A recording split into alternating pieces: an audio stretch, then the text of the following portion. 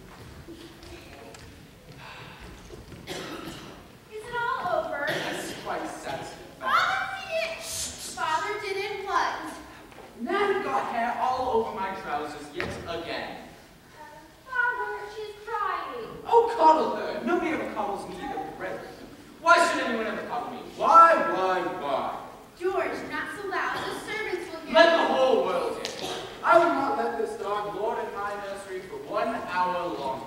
Father, no! To the Lord of this house or she. Come now.